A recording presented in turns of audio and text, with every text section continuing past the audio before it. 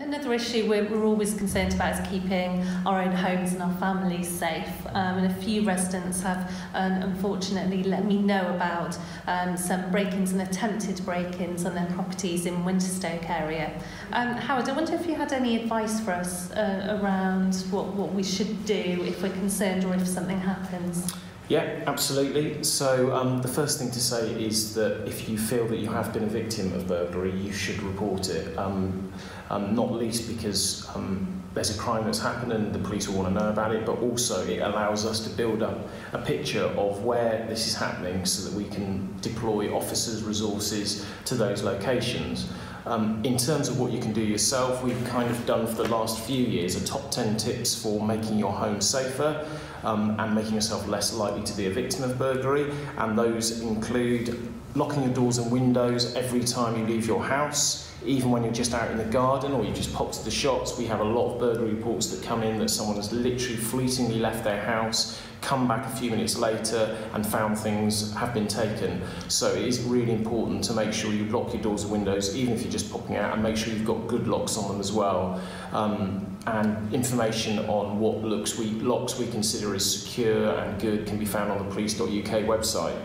Um, another typical um, modus operandi for burglaries is the fact that burglars will reach through potentially and get your keys, so make sure that you get keys out of sight.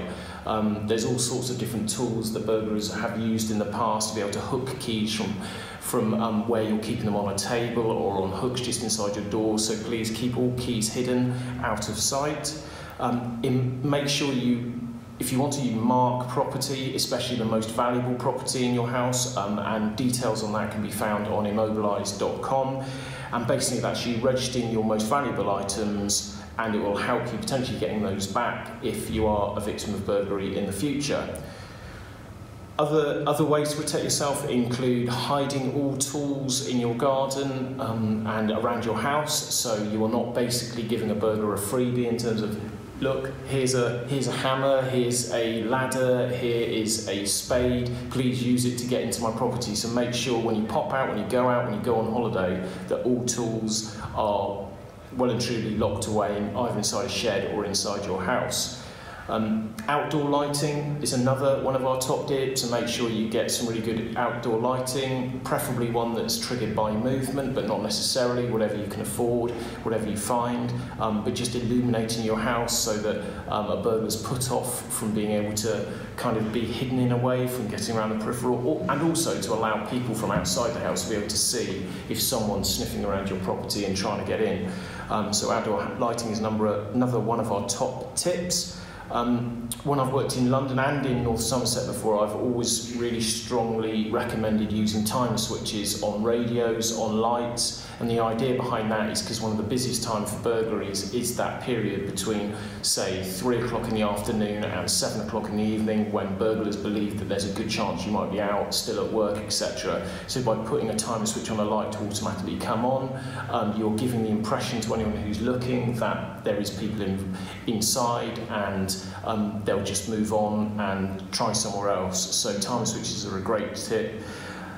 And then just finally, just make sure that all your fences, all your gates around your property are in really good repair. So um, it, it's just a basic, it's a basic checking process to make sure that the, the boundaries on your property are as secure as they possibly can be. Um, you can also put certain vegetation into your, into your hedges to make sure it's kind of less likely to be climbed, but that's not always practical. So just making sure that you have a really secure boundary to your property, I think is a top tip. Um, Lee, did you? Yeah, no, completely. And um, and I think as well, if you look at this, so Avon Somerset Police have got a crime prevention website. Yeah. We've also got um, old school sort of paper materials and stuff like that. One of them actually is called uh, Buzz Off Burglar. Uh, but it's all about actually that natural protections about Yeah. plant, how you can, if you've got gardens and stuff and you want to be making them look uh, look all nice, you can do it in a way that actually is quite defensive planting Yeah. as well. That actually works. Uh, it was a guy who recently retired who did it, but he is um, he was absolutely obsessed with nature that uh, and and, gar- and garden design Yeah. as a police officer and put together that that piece there. Um, I suppose the thing I would say as well is, yeah, it's, it's, it's rare to be Yeah, victim, yeah. and, and, and thankfully, you know, in, the, in, in Avon and Somerset as well, it is very rare to become a, a victim. But if, if that does happen, you know, we will attend. I know there's been some sort of speculation about whether or not we attend burglaries or not. Yeah. And there's all this talk in the press about there not being police officers around. And so actually, you know, we attend every burglary. And Yeah. we will do it. And sometimes it's not within the time scale we would like to be able to do that, you know, not within like an immediate sort of race into it if, if the offender's not there. But we attend every burglary. And we will look to investigate every burglary. So it's really important if somebody suffers um, a break-in that points of entry that anywhere that you think that person has scuffled around and had a look for Yeah. stuff out of that, that they are kept as they were when you found Yeah. them. because we will want, if there's any chance of us being able to go there and get evidence of who has, who has uh, committed this, we will want to try and preserve that. And make the most of anything that we can find. If it's wet outside and you're seeing, you know, um, footprints in the, in, in the mud and stuff, doing whatever we can to preserve that Yeah. so that we can try and get the evidence we need. To, so if somebody comes through custody, we will, you know, we will take their footprints, and it is there is quite often that we can match Yeah. um, those sorts of things. The other stuff is for your for your belongings in there as well. Anything that you've got, especially with you know uh, at the time of filming this, Christmas is coming up. I don't Yeah. know, but you know there'll be Christmases and birthdays for everyone throughout you know throughout the year. And as you get stuff, to make it a habit to register on something like Immobilise, Yeah. uh, which is quite a simple thing to do, but it means that um, ultimately, you know, we're obsessed as well at times with trying to catch burglars and catch people committing crime. If we get hold of somebody, uh, we have powers under the Police and Criminal Evidence Act to search their premise to search them, search vehicles that may be linked to them, um, and there's different powers we can do depending on how we found them. But in doing that, we might find products, we might find laptops, we might find iPads, all sorts of stuff. And if their stuff's registered on something like a mobilise, we can check that, we can check those uh, details through. And where we may have only had this person for the one or one burglary or suspect for one offence there, if we Yeah. find these things and check them through, we can link them to a number of others. Mm. So it's not all about, I know with insurance and stuff, some people have- are, are less worried about having their property recovered at times. Yeah. But it's certainly good for, like, uh, it's more for things like photos, we find people want stuff back.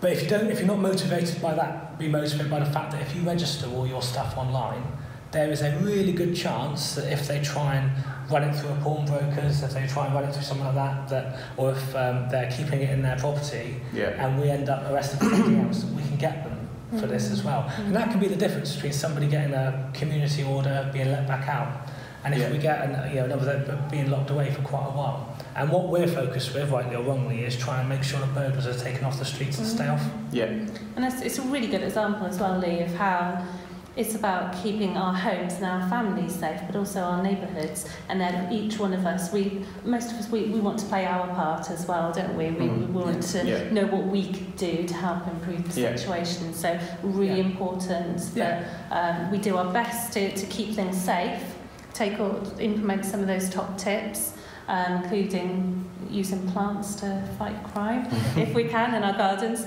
uh, but, but very much always reporting things through, trying to leave the situation as we found it, um, and trying to use tho- those mechanisms to, to log the details. Can we do just a second on neighbourhood watch? Mm, that'd be please. worth I was going to ask you that. Yeah. Maybe we will. Um, it gets it gets a bad rap at times. But I've, I've worked quite for some time on Neighbourhood Watch, and I've, and I've worked um, as the Avon and Somerset Association has formed as well.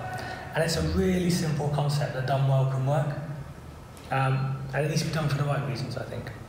But where you have a number of residents who just care about their local community and just want to help try and keep it a bit Yeah. safer, um, and you have that link to the police, and you have that, but more importantly, that link to each other where um, you know, say you're in Haywood Village, you've got you, you've maybe a newer development or whatever it may be, or, or West Village, or wherever you are, and you've got these, well, you've got all your neighbours around you. The concept of neighbourhood watch is just, you know, that we are looking out for each other, yeah. and we're actually going to make that effort to make sure that around us is safe, and that can have some real benefits.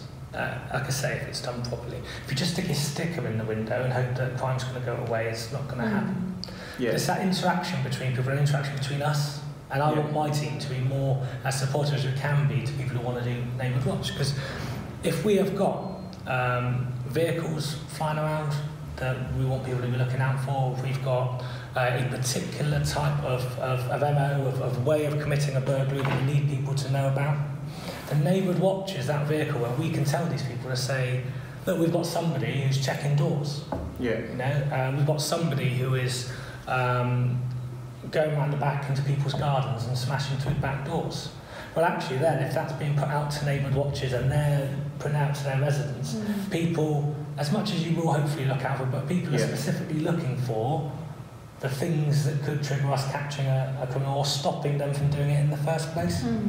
And so it can be really important. It's a really good bill, but it needs to be done correctly. Now, I'm trying to increase the link with our neighbourhood watches. I invited all of our coordinators in. We don't have many in central or in the town centre. I'd like to see that change. But I'd like to see that change based on the fact that people want to do something about crime mm. in their area and they want that closer link to us. Mm. If they're interested, all they've got to do is get in contact with my team and we will help you through all the processes of setting that neighbourhood watch up. Great.